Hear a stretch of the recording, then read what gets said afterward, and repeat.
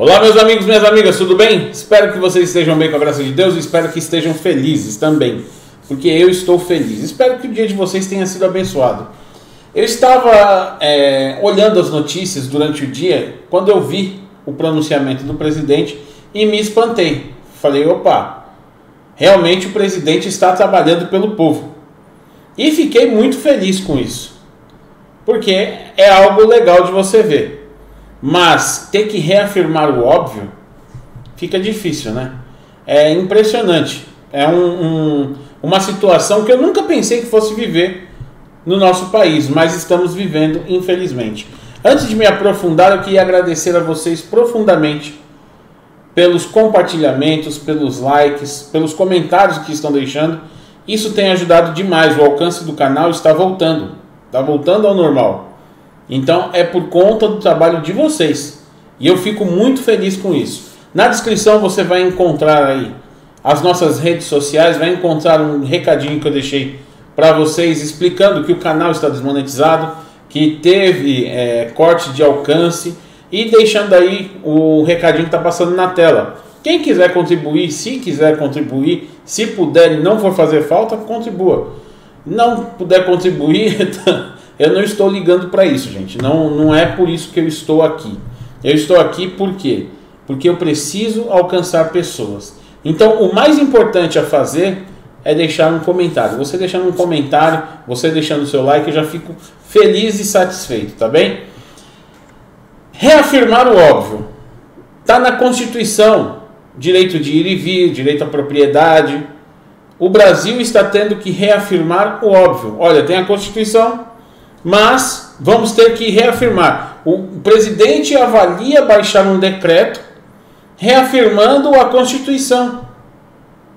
Não era para acontecer em nenhum país do mundo isso é para acontecer. Só acontece aqui no Brasil. É impressionante. Eu fico besta de ver que ainda tem pessoas que dizem assim: olha, o Bolsonaro ameaçou fazer um decreto. Ele não ameaçou fazer um decreto. Ele disse que ele avalia fazer um decreto reafirmando os termos da Constituição, ou seja, querendo fazer valer a Constituição, coisa que não era o papel dele. O papel dele é governar. Guardar a Constituição é o papel de outro órgão que não tem feito o seu papel. Afinal, todos os dias nós vemos aí a Constituição rasgada. Então não deveria é, haver a necessidade de se fazer um decreto reafirmando o artigo 5 da Constituição. Mas, com os acontecimentos, é, com o que vem sendo feito, Jair Bolsonaro está se vendo obrigado, e o povo tem pedido isso nas ruas. Foram milhões de pessoas às ruas, justamente para dizer ao Bolsonaro: olha, pelo amor de Deus, faz valer a Constituição. É reafirmar o óbvio é dizer, olha, 2 mais 2 é 4. Vou fazer um decreto para reafirmar que 2 mais 2 é 4. E é uma coisa que é consenso, que todo mundo sabe. Mas, olha, a interpretação de fulano de tal, no livro tal, abriu um precedente disso para jurisprudência, não sei do que, que dá o direito do governador fazer o que quiser. Dá o direito do prefeito fazer o que quiser. Dá o direito do prefeito desobedecer a Constituição, do governador desobedecer a Constituição, e nós avalizamos. É isso. Aí quando ele diz: Olha, estou avaliando fazer um decreto, Bolsonaro quer dar um golpe, Bolsonaro quer fazer valer a Constituição. É uma brincadeira de mau gosto. Eu fico feliz de ver que realmente tem gente trabalhando pelo Brasil. Muito feliz. Eu fico feliz de ver que meu voto está valendo mas fico ao mesmo tempo triste de ver que ele está tendo que perder tempo com isso. Algo que já está escrito desde 1988, ele tem que reafirmar, tem que estar lembrando, tem que estar mostrando a todo momento. Aí dizem o que? Bolsonaro é autoritário, tem rompantes de autoritarismo. Isso não é autoritarismo, isso é legalismo. Ele está fazendo valer o que está escrito na Constituição. Não saiu em nenhum momento fora da Constituição. Braga Neto, no Senado, disse a mesma coisa: olha, as Forças Armadas estão prontas a qualquer momento para agir dentro da Constituição. Tudo dentro da Constituição. Ninguém quer nada fora da Constituição. Ninguém quer golpe de Estado. Ninguém quer isso.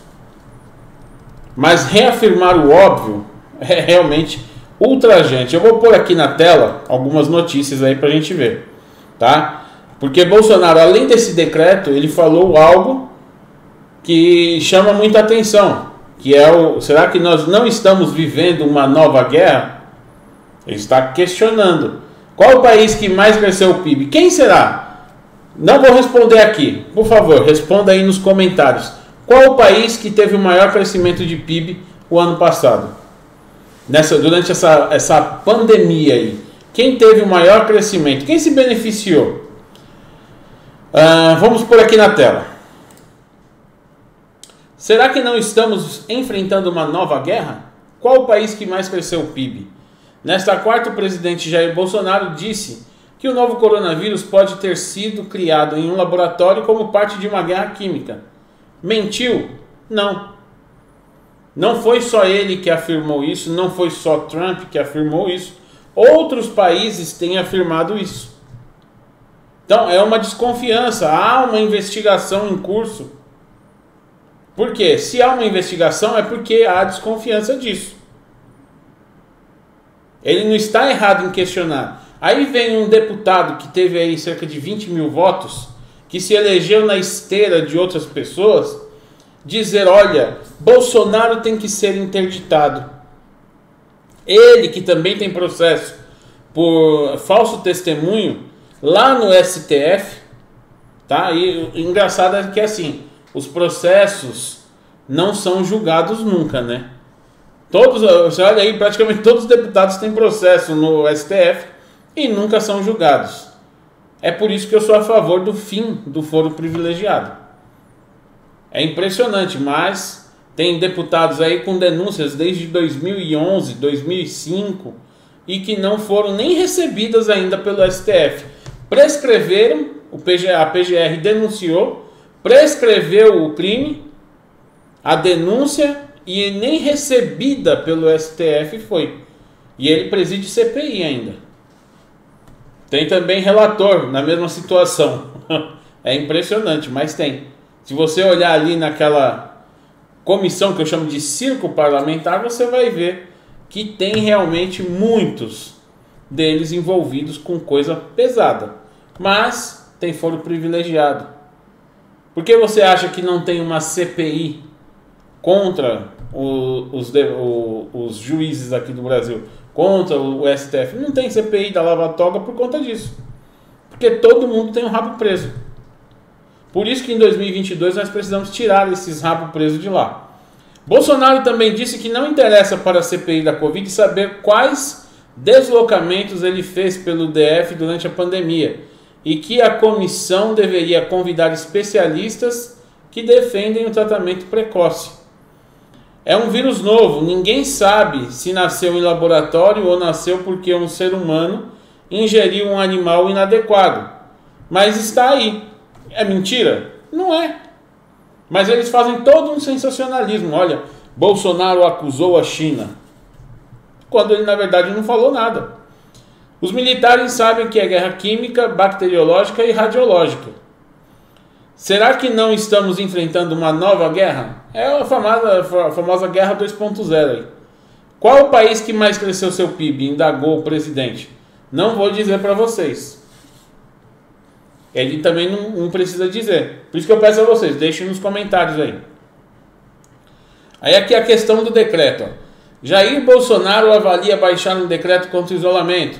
O presidente Jair Bolsonaro afirmou nesta quarta-feira, dia 5, que avalia editar um decreto para garantir a liberdade de culto, de poder trabalhar e o direito de ir e vir. Coisas que estão na Constituição, no artigo 5 mas ele tem que reafirmar. É uma brincadeira de mau gosto, né? De acordo com o presidente, a medida não poderá ser contestada por nenhum tribunal. Ele mandou um recado direto ao tribunal que mais contesta nesse país. Não podemos continuar com essa política de feche tudo, fique em casa. Nas ruas já começa a pedir, já se começa a pedir por parte do governo que se baixe um decreto. E se eu baixar um decreto, vai ser cumprido.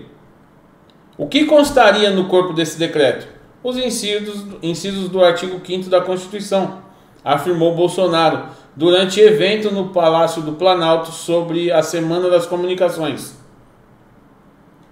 O artigo 5 citado por Bolsonaro diz: uh, todos são iguais perante a lei, sem distinção de qualquer natureza, garantindo-se aos brasileiros e aos estrangeiros residentes no país a inviolabilidade do direito à vida, à liberdade, à igualdade, à segurança e à propriedade.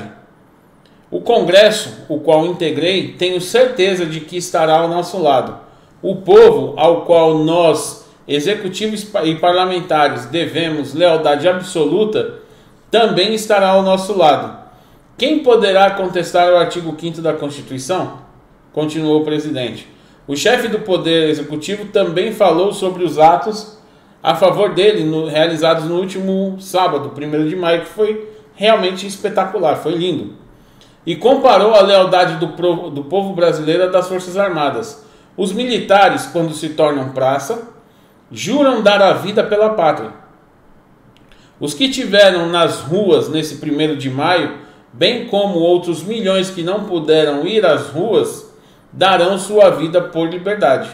E realmente, essa é a intenção e é o que eu venho falando. A nossa luta é por liberdade. Resume-se em uma palavra: liberdade. Não podemos perder isso do foco, porque é por isso que lutamos. Agora, chegar ao ponto de ter que fazer um decreto reafirmando um artigo da Constituição é porque a coisa degringolou, desandou de vez. Estão fazendo o que querem aqui nesse país. E é preciso ordem para ter progresso. Certo? Um grande abraço e que Deus abençoe a todos.